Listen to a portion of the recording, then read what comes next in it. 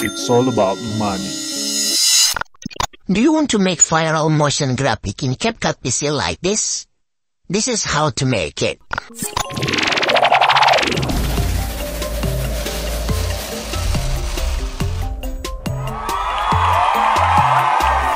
Oke, pertama-tama kita akan masukkan dari backgroundnya. Di sini saya menggunakan ukuran 9 banding 16. Tapi sebelum itu, jika kalian ingin menggunakan bahan ini bisa kalian download di deskripsi. Kemudian selanjutnya kita akan masukkan gambar yang kedua. Seperti ini, kita tarik sepanjang dari background tersebut. Kemudian kita akan berikan efek pada mesh atau tutupi, di sini kita pilih circle dan klik bagian inverse. Kemudian kita akan posisikan di kepalanya. Kita akan perbesar saja untuk gambarnya. Seperti ini. Kita adjust.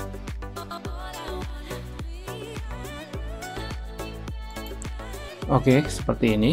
Kemudian kalian bisa copy dan pastekan gambarnya di atas seperti ini dan untuk gambar yang kita copy kita pergi ke mesh dan kita matikan inverse nya seperti ini.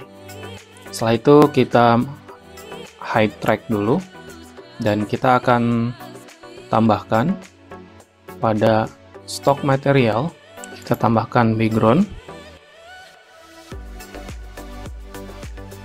Oke seperti ini. Kita panjangkan dan sebelum kita mulai dan kalian jangan lupa aktifkan pada modify. Di sini range layer atau free layernya kalian aktifkan dan performance-nya di bagian resolusi menjadi 540 pixel gunanya apa? Untuk mempermudah atau memperlancar dari editing preview kalian. Setelah itu solid color ini kita turunkan di bawah gambar ini seperti ini. Dan kita berikan efek pada mesh circle seperti ini dan kita cocokkan dan paskan terhadap potongan dari kepala ini.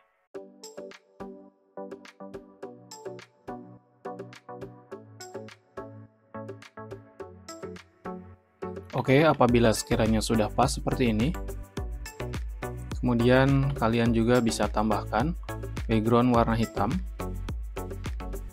sini saya menggunakan dari video ini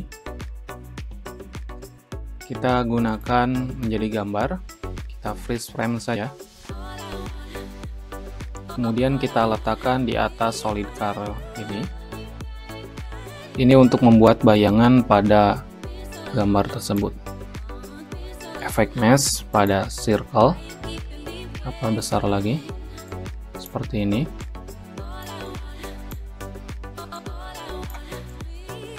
Kemudian kita akan berikan efek feather atau bulu seperti ini. Kemudian pada basic kita akan turunkan opacity-nya ya. Seperti ini. Ini untuk mempertajam kedalaman dari sebuah ruang kosong. Setelah itu, kita akan tambahkan gambar selanjutnya yaitu gambar uang. Untuk gambar uang ini kita masukkan dan posisikan di atas dari gambar hitam tersebut. Seperti ini. Kemudian kita akan adjust ukurannya. Seperti ini. Yang di mana nanti hasilnya akan menjadi pop up keluar dari kepala. Oke apabila sudah kita posisikan seperti ini kita tinggal menyalakan di bagian atasnya seperti ini. Ini sedikit terlihat kita akan turunkan. Oke seperti ini. Kemudian kita akan berikan efek pada gambar yang paling atas pada animation. Kita pilih yang slide up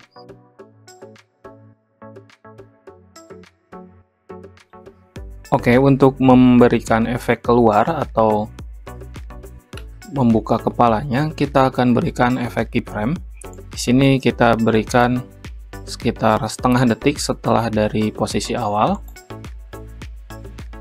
Kemudian kita akan pergi pada basic, kemudian pada transform, kita berikan add keyframe, dan kita majukan setengah detik selanjutnya, atau lebih dari itu nggak apa-apa. Kita akan tarik ke atas, seperti ini, sampai keluar dari framenya. Oke, apabila sudah, di sini kita akan memberikan efek yang kedua pada dolar tersebut yaitu sama seperti keyframe di atas.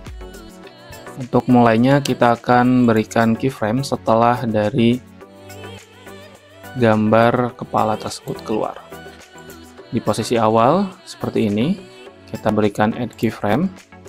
Dan kemudian selanjutnya untuk posisi kedua kita akan majukan lebih sedikit saja dari posisi keyframe dari gambar kepala tersebut. Kita tarik slide up ke atas seperti ini. Munculkan setengah saja seperti ini. Apabila kurang besar ukurannya kita akan perbesar dulu. Tapi jangan sampai keluar dari frame karena dia dibalik dari gambar tersebut. Oke seperti ini. Kemudian untuk memperbagus atau memberikan efek yang lebih bagus kita akan tambahkan efek suara. Untuk suara yang pertama kita akan berikan efek hush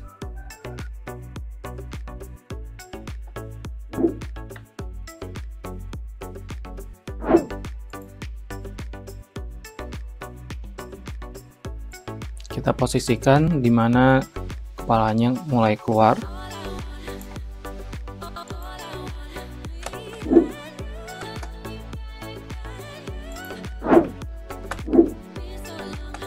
Oke, kemudian selanjutnya efek suara uang.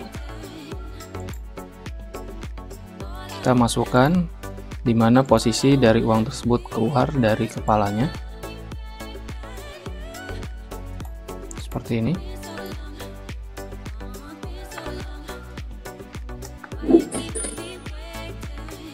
Oke, setelah itu kita akan tambahkan dari dubbingnya. Di sini saya udah voice over. Untuk suaranya kita akan berikan efek deep.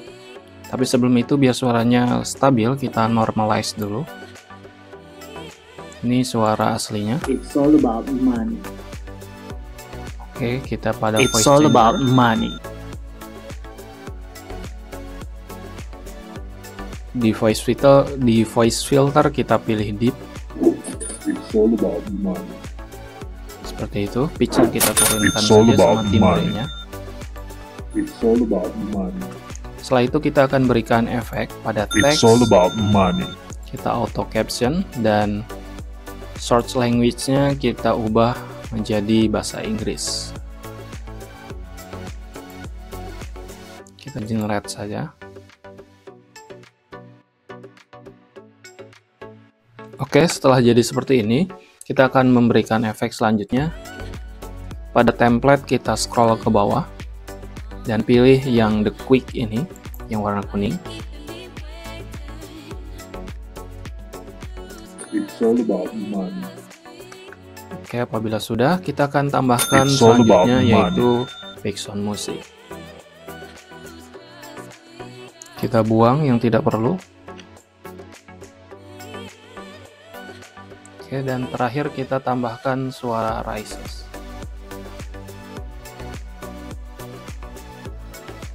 Oke, kita preview sebentar. Oke, untuk background suara musiknya kita turunkan sedikit. Oke, apabila sudah, kalian ekspor saja seperti ini.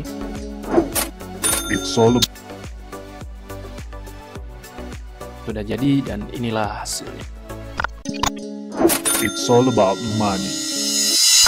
Oke, terima kasih yang sudah menonton dari awal sampai akhir. Jangan lupa aktifkan notifikasi lonceng di bawah supaya tidak ketinggalan video-video terbaru lainnya. Dan jangan lupa share, like, and comment. See you in the next video.